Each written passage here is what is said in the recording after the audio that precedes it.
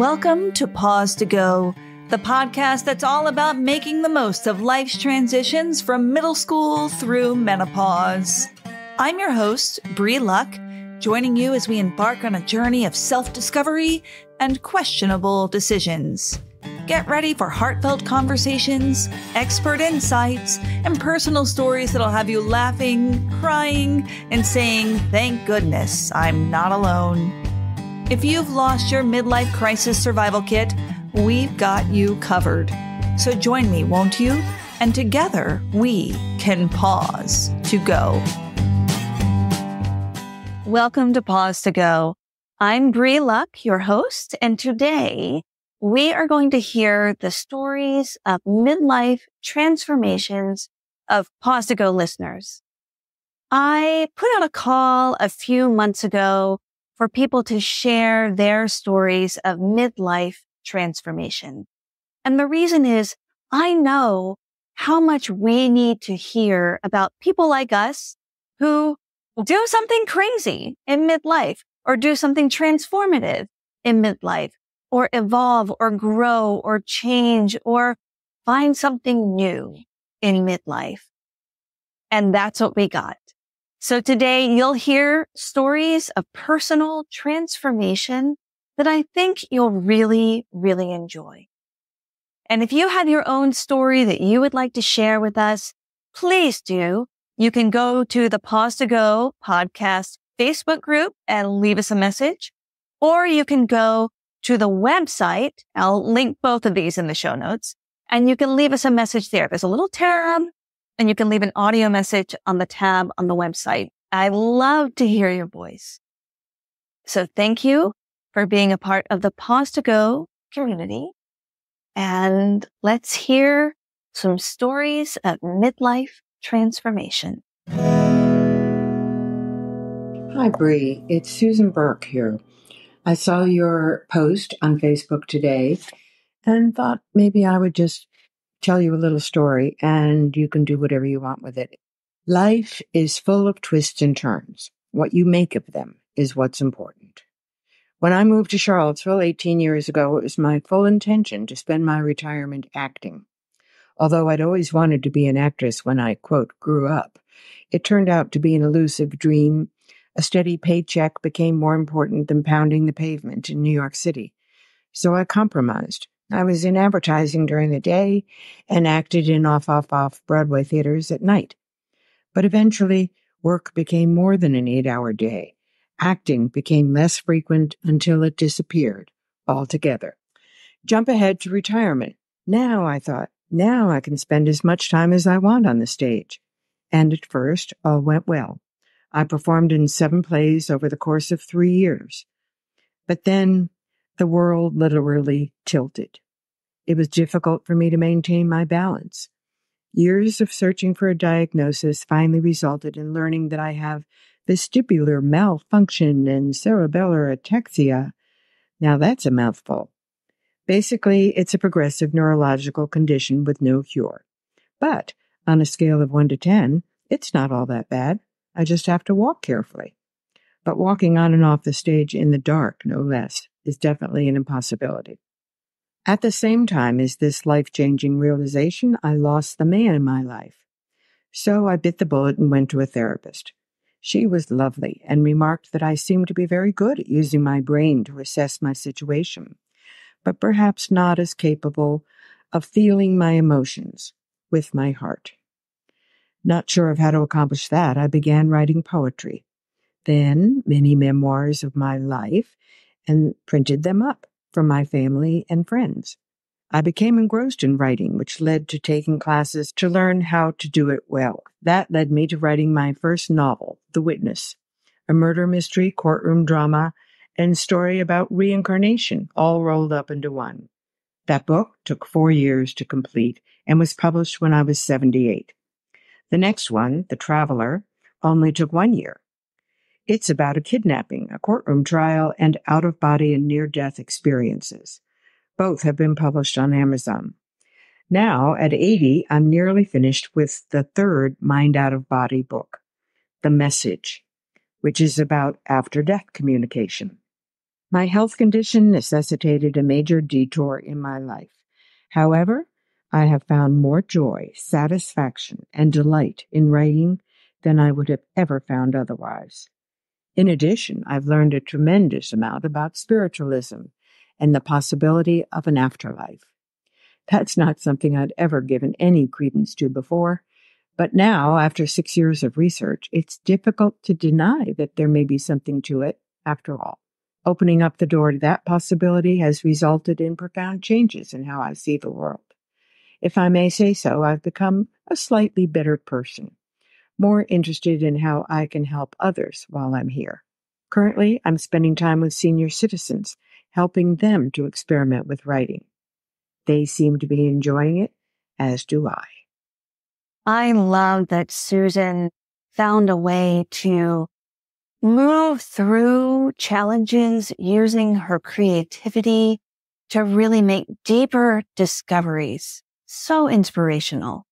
Next up is Matthew, who made friends with his shadow self in midlife.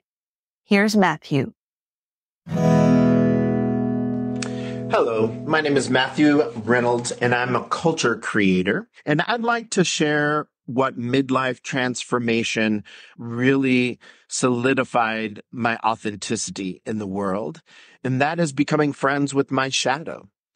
Shadow to me is something that was created out of the indoctrinations by the status quo and dominant culture that was always feeding me these lies and half truths about how I should be in the world, who I should be in the world, how I should react and respond to other people in the world. And a lot of times it fed on the idea of self worth being negative, that I'm not worthy of this, that I'm coming from a place of scarcity or coming from a place of unknowing that my truth and my authenticity was worthy of being in existence in this world. And so the transformation that occurred is that I actually became friends with my shadow, that I realized instead of fighting against it, pushing against it, wanting it to not be a part of my life, I actually wanted it to be a part of my life. I wanted it to show me the things that I don't want to be and how I don't want to be in the world and really have a mirror to hold up to how my true humanity and my authentic self embraces other people's humanity and allows them to begin to see the truth of themselves as well. And I think one of the biggest times that that occurred for me was when I transitioned from being a high school teacher into having my own business and being an equity consultant. And as I stated before, a culture creator. So I realized that I was listening to Shadow and feeling I had something to prove and was staying in the classroom and having this saviorism kind of like mentality that shadow was feeding that I can persevere and, you know, grit out this and, and do it for my students. And nowhere in there was me and the authenticity of me. It was all about feeding shadow and the status quo and the dominant culture's idea that I have to have this career that, you know, I stay in and do these things. And in all actuality, if I really wanted to change the discrepancies, the inequities that I was seeing happening to my students, the hurtful and harmful things that were happening to my students. I personally couldn't do that in the classroom and I needed to step away from teaching gather some of the skills that I had already had and, and get some new ones to create my offering of crafting your equity lens to the world. And so this isn't a pitch for selling my equity lens workshops or anything like that. This is to tell you and share with you that that transformation, that embracing of shadow and saying, Oh yeah, you're teaching me the very things that I don't want to be and how I don't want to be in the world. You're helping me cross check my authenticity and hold me accountable to letting the truth of me be in the world. And I want to thank you, Shadow, for that. And therefore I became friends with Shadow and it was a huge transformation for me. And I hope that other people can make friends with Shadow or find another word for it if that doesn't suit you, but really see Shadow as a place of learning and know that it is feeding your growth, feeding your transformation and feeding you to becoming the biggest, fullest and brightest you that you possibly can be in this lifetime. Thank you for taking the time to listen. I hope that this message finds you well. May it embrace the authenticity of you as you move forward in the rest of your day. I love that Matthew took something that was frightening to him, that was a little bit dangerous, the shadow self, our darker sides, the parts of ourselves that we don't want to look at are really scary. And that he has not only looked at his shadow, does not only look at his shadow self, but continues to embrace it and to learn from it. That's something I'm definitely going to carry with me moving into the next week. I also love stories of people really remembering something that they wanted to do and leaning into it, just like this story of Anna Ma, who remembered an old dream and went for it. Oh, hi, my name is Anna Ma. My midlife journey is kind of weird for most people. I came to the States to learn filmmaking and then for waiting for my uh, husband to graduate from his PhD. And then I, I kind of studied a PhD too. But, you know, I would kind of, I, I was already like, um, after I got my first uh, Master of Fine Art degree, I, and I went back to Taiwan, I was already 33. So I came back here and then because we got some broke something to, you know, about, about long distance. And then I came back to the States and, and kind of suddenly decide, uh, to pursue a PhD because of waiting for him. But then after we got married and in the States, uh, we have two, two kids. So for the following 20 years, I did not touch any film. I did not even have time to watch films. I was so busy. And then suddenly after they went to college, I kind of, you know, although I still, I don't have, I don't have money at all. The, the only thing that for these 20 years I continue is I, I kept writing script and I joined the script writing group and I actually, uh, have like two or three scripts ready. So last year, uh, I suddenly uh, decided to really make a micro budget film called Romeo and Benvolio. I wrote the script in two months and then started making it after in the summer. And then, uh, surprisingly, I, God bless me, I finished the projects and then the whole thing, I have a lot of help from my friends and even my, uh, um, old friends in uh, Missouri. She uh, helped me uh, finish the final touch of the, the film coloring and sound editing. And then surprisingly, I really finished it this year in April and I'm like, you know, promoting it uh, everywhere. So that, that's my story. It's kind of weird that I stopped a real kind of role that I want to pursue in the States. I stopped for like 20 more years and then I restarted it. The whole thing that with the 20 years in between and, and, and then you restart after middle age because right now I'm like 58. So it's, it's kind of weird and fun thing, you know. yeah, for, uh, uh, for me and maybe for most people that, uh, the, the experience uh, right now, I am still experiencing, but it's kind of fun. Yeah. Thank you. I love that Anna found her calling again and found her way back to filmmaking after such a long hiatus. What a beautiful story. The next story is more of an internal journey. It's about reconnecting with intuition and with an inner knowing. Enjoy this tale of a midlife transformation from Sabina. Hey, Bree.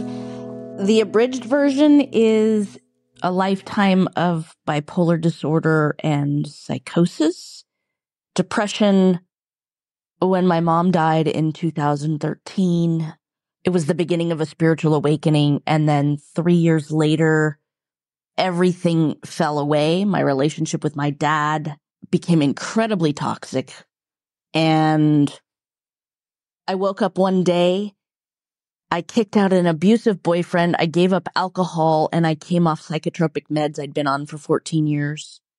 And that was the beginning. It was all an instantaneous moment And over the next six, eight weeks, I was flooded with all kinds of psychic and intuitive information that I had been numb to from drinking and being on psychotropic meds. I had not been in touch intuitively because that sensitivity was numbed out because of previous instability. But suddenly I reframed it and I no longer needed to be numbed out to create stability for myself.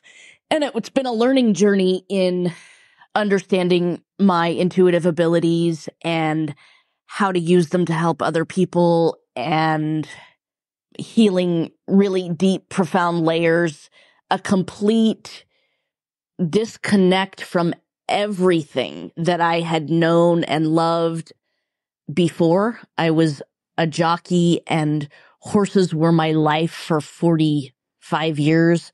And all of the sudden that passion just dissipated and I was sent in a completely new direction. And I'm still in the process, but so much has been revealed and anchoring of talents I didn't know I had. And that's really, it's incredibly liberating, releasing beliefs and conditioning that I had been really trapped by or that I had caged myself by. And it, it's an incredibly liberating experience. So I'm just about to create a course in spiritual awakening for people that are in the midst of it or beginning to feel like their current life does not resonate with them. And uh, anyway, that's the abridged version. So lots of love. I love Sabina's exploration of both deepening her intuition and connection to her inner knowing and also appreciating that this is a lifetime process, not something that has a quick, a quick fix or a, a quick ending or a quick happily ever after. The next story also includes career transformations and a deep inner knowing, maybe metaphysical knowing, although this knowing comes from the father of our storyteller. This is a story from James. Hey, Bree, this is James Sanford. From 1997 to 2009, I was working at the Gazette and I was originally a staff writer and then I got moved up to special section editor and I was a film critic. I was doing a lot of entertainment writing, interviewing a lot of celebrities, that kind of thing. And in 2009, I took a buyout because it was quite obvious that things were getting pretty dicey in the newspaper world. So I was offered a very lucrative buyout package and I took it and went to Martha's Vineyard and lived for three and a half months and, um, basically gathered material and wrote a book and that sort of thing. But after I tried to get back into journalism in uh, 2010, I started to realize just how terrible the market was. And I wound up accepting a job that was at like 40% of my previous salary. And things were very, very tough. I eventually found a better position, but it was just a one year contract and they had the option to renew. So even if I wanted to stick around, there was no guarantee. So I was really in a predicament and I didn't know exactly what I was going to do. And I was extremely fortunate after I was searching around for a while.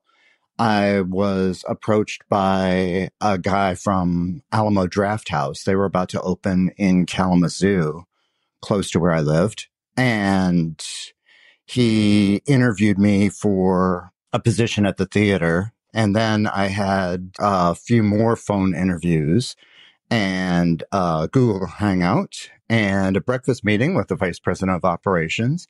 And then I was flown to Austin where I got 10 more interviews with people. They were very, very particular about what they wanted. But finally, after three and a half months of interviews with various people, I did get the job as a creative manager at Alamo and basically completely overhauled my career. It was very interesting because I had been in theater management back in the late 80s up to the mid 90s with various companies. And I had done a lot in terms of promotion. I'd won some national contests with film promotions. But when the opportunity to, to get into journalism came along, I said, Oh, that, that's cool. So I did that. And I never thought I would return to theater management. One of the interesting things that I look back on now, my father, when I was going through like the worst time of my job search back in 2010, said, I keep having this vision that you're working in a theater, but it's a different kind of movie theater. It's like, it's hard to describe. And I was just, oh my gosh, dad, give it a break. I'm never going back to theater management again. And he passed away almost one year to the date of when I accepted the offer from Alamo. And so he did not see my transition to Alamo. But it was so funny when I first set foot in an Alamo. I said, I wonder if this is what dad was having visions of, uh, because it was certainly a different kind of operation. And so, yeah, I, I made the career transition and it was, it was difficult. I mean, changing, uh, so much relatively late in my career, but it's worked out. I just celebrated my 10th anniversary with Alamo.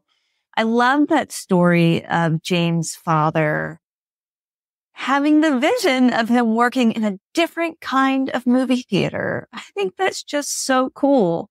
Also, for those of you who are in Charlottesville, you can find James at Live Arts. He's in Kinky Boots right now for the next couple of weeks. So go check it out if you can get tickets. He does both movie theaters and stage theaters. Next up is my cousin Betsy. And Betsy is just wonderful at helping us reframe some of the negative narratives around aging. I think you'll really enjoy what she has to say about moving into the next phase of life. Hey, Bree, it's your cousin Betsy. I'm really intrigued by your recent social media posts about midlife and midlife crises, and I've been peripherally following them for a few weeks now. But I don't see aging as a crisis. I see it as an opportunity, especially for women. As I stand with my back to my youthful days, I only see freedom ahead of me. Freedom to start a new path when I retire, freedom to follow my soul mission and life purpose of mindful living, freedom to live comfortably without needing to work my ass off to make a buck, freedom to sleep in every morning if I want to. There's a whole lot of freedom with becoming an aging woman that we don't think about. Our kids are independent, so we have more freedom to enjoy our lives, whether single or partnered up. Many of us live healthier lives, so we have more freedom to just pick up and go skiing for the weekend or biking with friends. I mean, I didn't even start cycling until I was 55 years old, and now it's one of my greatest joys. Of course, there are downsides high blood pressure or cholesterol, heart disease, breast cancer, osteoporosis can affect lots of women over 40. So it's extra important to stay on top of our health. When I say to people that I'm 61, they don't believe me. Most times I don't even believe it myself. I'm 61 years old. That's impossible because I believe it's how you live your life that determines your age. When you're younger, you stack the blocks, you create a foundation for a life. You work hard, you raise your families, you do everything you're supposed to, but you can only see the blocks that you're laying on top of each other. But when you get older, you've already built that cathedral. You've climbed to the top of it. And now all you can see are possibilities. Right now, at this moment, I'm seeing the life I've been envisioning and manifesting. I'm standing at the cusp of greatness, and I got to tell you, I'm so excited. I have a year and a half before I can retire from teaching, and then my life becomes my own. Believe it when you hear a life begins at 50, because for empowered women who've laid the groundwork, it absolutely does. Thanks for asking our opinion. I'm really happy to give you mine. Love you. Betsy is such a badass, taking up cycling at age 55 I can't wait to find what I'm going to do at 55, but I know this. I'm going to call Betsy when I hit my first roadblock because she really knows the way through. What a positive mindset. Sometimes though, we come to an age and we realize that we have to grapple with some of the things that didn't go so well. Our final story today is about a person who knows that love and compassion are the way to move through even when life has gotten very, very complicated. Hi, Bree. I have a story of resilience. I'm 50 and I'm divorced twice. But my last divorce was extremely traumatic for me and my entire family. And I guess my story is this is the other side. The story in the light instead of the darkness and how I feel and know in my soul that the more sadness you feel, if you can just keep going on, if you can keep um, connecting with yourself and loved ones around you and tending yourself and loved ones around you, and looking for the little things in life every day that make you feel good inside, you can get to the other side. My divorce made me take a hard look at who I am and the good and the bad and the good parts of me. I'm a super empathetic person. I love people. I'm super optimistic about people. I tend to always see the good in you. And if I can't find the good, I'm immediately looking for why the bad is there. And those qualities led me to choose a person as a, a, romantic partner that was really harmful to me and my family and my children. And make a choice in life that puts your children in harm's way. I think we all, as mothers, know that that's one of the worst feelings you can feel. I kept saying to my friends, well, at least my kids don't, you know, my kid doesn't have cancer. My kids don't have cancer, but I kind of felt like I had made choices that had put an emotional cancer in them, not by anything I had done, but by the choice I had made in a partner. So it was ugly and it was it was the lowest of lows for me and I hope for my lifetime. But what I learned in the end was I am such a better person now for it. I am incredibly strong. I have no doubt that I can take whatever life has to give me. I can take it. I'm ready. And I am able to experience joy to a deeper and higher level than I ever have in my life. I, uh, I can see the light every day in something you had to fight for it. You know, I had to fight for it. And therefore, I really appreciate it. And so, for everybody out there who's suffering in some way, I know it sounds cliche, but it's really true that on the other side, there is a silver lining. Or like a tree, you know, there's an old saying out there about a sadness being the roots of the tree and happiness being its canopy, and that the two are always in balance. And I think that's so true. And it's a beautiful metaphor because the canopy goes up into the light and the and the roots go down into the dark. And we know that we need both in life, or there's always going to be both. And don't be afraid. You can get back into the light. You just have to keep going. I love that metaphor of the tree and the branches reaching up towards the light and the roots needing to dig down into the darkness to get the nutrients for the tree. I just think it's, it's really beautiful. And I'm so grateful for all of the stories that listeners shared today. I'm so grateful for you. And if you got something out of this episode, please share it with a friend. And also, please subscribe. So recently Apple changed their algorithm. And so people who had previously been subscribed were unsubscribed. So if you have just a moment right now to go and click follow or subscribe wherever you're listening to the podcast, It will make a huge difference for this podcast and will bring it to the ears and eyes of more people wherever they catch their podcasts.